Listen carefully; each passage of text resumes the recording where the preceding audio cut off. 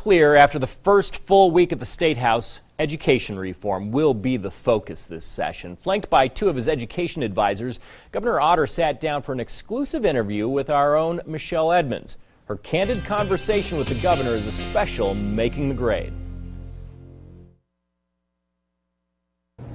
During his State of the State address, the governor used the phrase Idaho learns more than a half dozen times.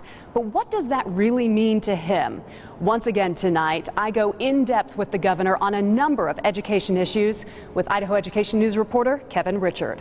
In the perspective, it's $101 million. Uh, it's 7.4%, and the budget, the total budget, is 5.2. So our emphasis, I believe, is in the right place, our heart's in the right place, and the money's going the right place.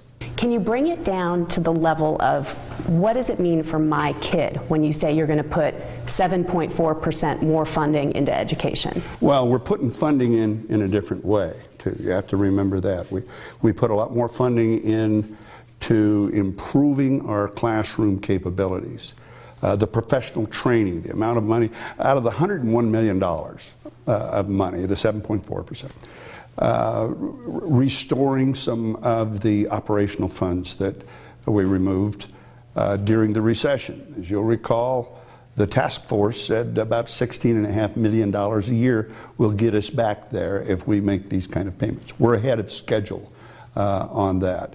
Uh, once again, the professional training, I think $17 million in there for, for professional training. That's more money for the teacher in the classroom to continue to improve.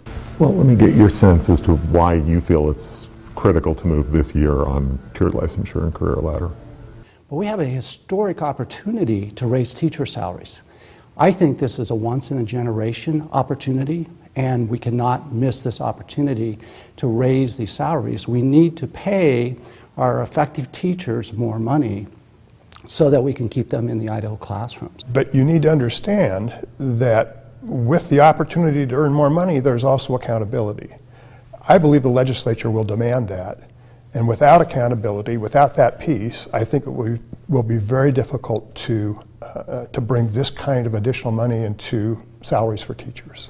I, I agree with John. Uh, and the expectations that we have is that we are going to be able to defend any additional monies that we spend in education because of the accountability uh, and meeting certain expectations as a result of requiring that accountability. Now, Governor, there are, there are, folks in the education communities, in the business community, in the legislature who would probably want to see K through career be more pre-K through career. Well, why, why isn't pre-K part of the equation that you laid out this week? Pre-K is important. I've got to deal with what I've got. And right now, I've got K through career. And so, and we've got a good plan. So as long as we work and focus on that plan and not add anything to it for a while, uh, then, and maybe we can add that as we become more confident in the success of the plan in a year or two. Governor, when we talk about your legacy, with these being your last four years on a mm-hmm. five year plan for education, do you think education and what happens in this state becomes your legacy as governor? You know, it, it may well. Uh, I have just put a lot of importance uh, on education. Idaho on Your Side is committed to covering education, not only during this session, but in the future. Reporting from the Capitol, Michelle Edmonds, Idaho on Your Side.